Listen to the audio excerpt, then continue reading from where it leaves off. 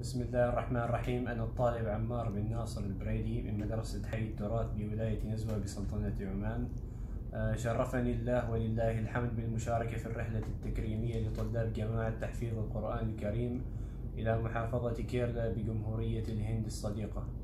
وقد نظم هذه الرحلة مكتب KSA للسفر والسياحة حيث حطتنا رحالنا إلى منطقة كوتشي. وسكننا في فندق ليزور إن والذي يعتبر أحد الفنادق الحديثة. وكان فندقا ذا خدمات متميزة وطاقم بشوش وطعام طيب. استمتعنا في منطقة كوتشي بالمناظر الخلابة.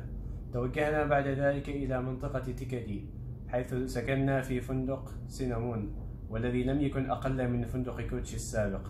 استمتعنا في منطقة تيكادي بكل من عروض المقاتلين وسياحة السفاري.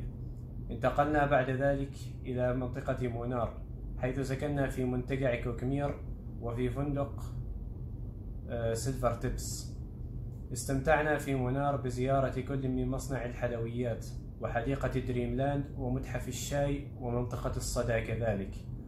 بعد ذلك توجه توجهنا إلى منطقة كوتشي مرة أخرى حيث استمتعنا بركوب الفيلة وزيارة حديقة واندرلا المائية.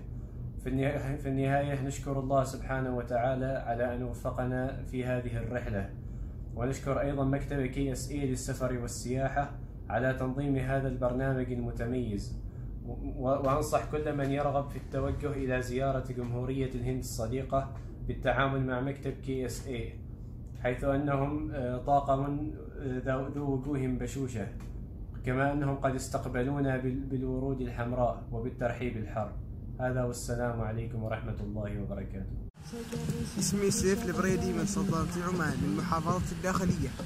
بتوفيق من الله تم اختياري للرحلة التكريمية لحفظة كتاب الله بمدرسة حي التراث للتعليم الأساسي حيث كانت الرحلة إلى كيرلا الهندية. وضمن الرحلة ثلاث مناطق هي كوتشي وتيكادي ومونار حيث اصطحبنا مكتب KSA إلى أماكن كثيرة أهمها جيب, جيب السفاري ركوب الفيلة.